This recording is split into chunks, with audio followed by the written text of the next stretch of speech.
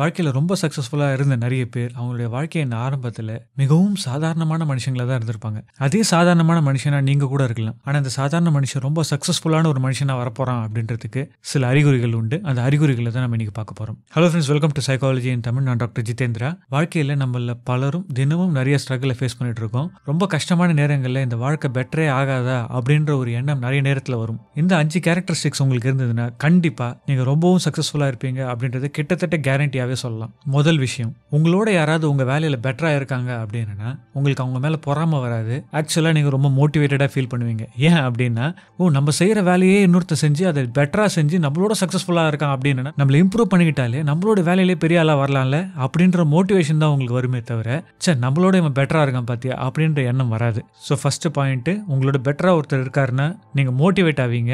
அதை பார்த்து பொறாமப்பட மாட்டீங்க. இரண்டாவது நமக்கு தெரிஞ்ச விஷயங்களை வச்சு வாழ்க்கையில் ரொம்ப தூரம் பயணிக்க முடியாதுங்க. ஏன்னா உலகம் மாறிக்கிட்டே இருக்கும். மக்கள் மாறிக்கிட்டே இருப்பாங்க. அதனால யார் ஒருத்தர் எப்பவுமே கத்துக்கிறதுக்கு ரெடியாக இருக்காரோ அவரால் மட்டும்தான் வாழ்க்கையின் முடிவு வரைக்கும் சக்ஸஸ்ஃபுல்லாக இருக்க முடியும். அது ரொம்ப முக்கியமான விஷயம். நமக்கு கற்றுக் கொடுக்குறவருக்கு என்ன வயசு இருக்கு அவர் எங்கேருந்து வராரு இதை பற்றிலாம் பார்க்க மாட்டோம். அவர் சொல்லிக் கொடுக்குற விஷயத்தில் அர்த்தம் இருந்தால் யார்கிட்ட இருந்தும் எதையும் கற்றுக்கலாம் அப்படின்ற அந்த ஓப்பன் மைண்ட் இருக்கவங்க கண்டிப்பாக சக்ஸஸ்ஃபுல்லாக இருப்பாங்க. மூணாவது கொடுக்குற சம்பளத்துக்கு வேலை செய்ய மாட்டாங்க. அதை விட அதிகமாக வேலை செய்வாங்க. இன்னும் கேட்டால் சம்பளத்துக்கும் அவங்க செய்கிற வேலைக்கும் நிறைய நேரத்தில் சம்பந்தம் இருக்கான்னு கூட யோசிச்சு பார்க்க மாட்டாங்க. இப்படி இருந்தால் இழிச்சவன் இல்லையா? அப்படின்ட்டு உங்கள் மனசில் ஒரு எண்ணம் வரலாம். ஆனால் ஒன்றே ஒன்று தெரிஞ்சுக்கோங்க. ஒரு மனிதர் கடினமாக வேலை செய்கிறது அவரோட முதலாளிக்கு கண்டிப்பாக நல்லது தான் ஆனால் அதை விட அது அவருக்கு ரொம்ப நல்லது. ஏன்னா அவரோட முதலாளி மட்டும் அவரை பார்க்கல. இந்த சுற்றி இருக்க உலகமாக அவரை பார்க்குது. அது மட்டும் இல்லாமல் கடினமாக உழைக்கிறது அப்படின்றது ஒரு ஹேபிட் அந்த ஹேபிட் ஒரு மனுஷனுக்கு வந்துட்டா போதும். இந்த முதலாளி இன்னைக்கு நாளைக்கு இவரே முதலாளி ஆனாலும் இதே அளவுக்கு கடினமாக வேலை செய்வார். அந்த நேரத்தில் வேணால் அவருக்கு ஊதியம் கம்மியாக இருக்கலாம். ஆனால் அது மாறுற காலம் ரொம்ப தூரத்தில் இல்லை. நாலாவது உங்ககிட்ட ஒரு வேலையை கொடுத்துட்டா அதை பற்றி யோசிக்கவே வேண்டாம். அது எப்படியும் ஜெயிச்சுட்டு வந்துடுவீங்க அப்படின்னு உங்களை சுற்றி இருக்கவங்க நம்புறாங்க. சுற்றி இருக்கவங்க அப்படின்னு சொல்லும்போது உங்களுடைய பாஸ் மட்டும் அப்படின்றது அவசியம் கிடையாது. அது உங்கள் பெற்றோர்களாக இருக்கலாம் இல்லை சகோதரர்களாக இருக்கலாம் இல்லை நண்பர்களாக இருக்கலாம் யாராக இருந்தாலும் சரி உங்கள் மேலே ஒரு அதிகமான ட்ரஸ்ட் இருக்கும். இவர் வேலையை எடுத்துக்கிறேன்னு சொல்ல மாட்டார். ஆனால் எடுத்துக்கிட்டாருன்னா கண்டிப்பாக அந்த வேலையை சக்ஸஸ்ஃபுல்லாக முடிச்சிருவாரு. அதை பற்றி நம்ம யோசிக்க வேண்டிய அவசியமே இல்லை அப்படின்னு கான்ஃபிடென்ட்டாக இருப்பாங்க உங்களை சுற்றி இருக்க மக்கள். கடைசி பாயிண்ட்டு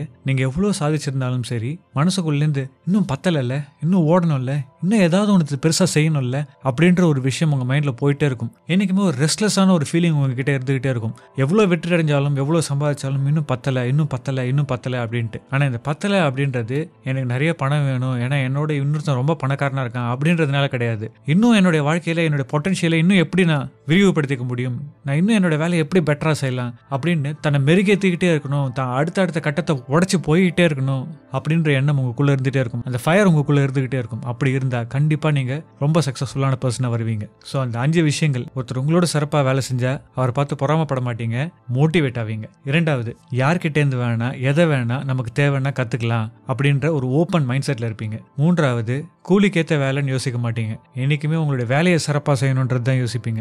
நான்காவது உங்களை மக்கள் நம்புவாங்க. உங்ககிட்ட ஒரு வேலையை கொடுத்துட்டா நீங்கள் கண்டிப்பாக ஜெயிச்சிருவீங்கன்றதுல உங்களுக்கு நம்பிக்கை இருக்கும். ஐந்தாவது இன்னும் வேணும் இன்னும் வேணும் இன்னும் வேணுன்ற ஒரு ஃபயர் உங்களுக்குள்ளே இருந்துக்கிட்டே இருக்கும். அந்த ஃபயர் உங்களை அடுத்த லெவல் லெவலுக்கு கூப்பிட்டு போயிட்டே இருக்கும். ஸோ இந்த அஞ்சு கேரக்டரிஸ்டிக் உங்ககிட்ட இல்லை அப்படின்னா ஒன்றே ஒன்று தெரிஞ்சுக்கோங்க. இதெல்லாம் ஒன்றும் பிறக்கும் போதே இருக்கணும் அப்படின்ற அவசியம் இல்லை. இதை நம்ம உருவாக்கிக்கவும் உருவாக்கிக்கலாம். ஸோ இன்னைக்கு உங்ககிட்ட இந்த விஷயங்கள் இல்லைனாலும் இந்த விஷயங்களை உங்கள் எண்ணத்தில் எடுத்துக்கிட்டு போனீங்கனாலே கண்டிப்பாக உங்களால் ஜெயிக்க முடியும். இந்த வீடியோ பார்த்துட்டு இருக்கும்போது உங்கள் மனசில் சரி இந்த வெற்றினா என்ன? அதை முதல்ல சொல்லுங்க அப்படின்னு ஒரு கேள்வி எழுந்திருக்கலாம். அந்த தலைப்பில் நம்ம ஏற்கனவே வீடியோ போட்டிருக்கோம். அந்த வீடியோட லிங்க் டிஸ்கிரிப்ஷனில் இருக்கும். இந்த மாதிரி நீங்கள் கேட்குற பல கேள்விகளுக்கும் ஏற்கனவே நம்ம சைக்காலஜி தமிழில் விடையளிச்சிருக்கும். கிட்டத்தட்ட முன்னூறுக்கும் மேற்பட்ட வீடியோக்கள் இருக்குது ஸோ ஸ்ட்ரெயிட்டாக நம்ம யூடியூப் சேனல் சேனலுக்கு உள்ளே போயிட்டு அதுக்குள்ளே இருக்க வீடியோஸ் நீங்கள் அலசி பார்த்தீங்கனாலே பல கேள்விகளுக்கும் பதில் கிடைக்கும். ஸோ இந்த வீடியோ உங்களுக்கு யூஸ்ஃபுல்லாக இருந்தால் லைக் பண்ணுங்கள் இது யாருக்கு யூஸ்ஃபுல்லாக இருக்குமோ உங்களுக்கு ஷேர் பண்ணுங்கள் சைக்காலஜி தமிழுக்கு சப்ஸ்கிரைப் பண்ணுங்கள் தேங்க்ஸ் ஃபார் வாட்சிங் this video and have a great time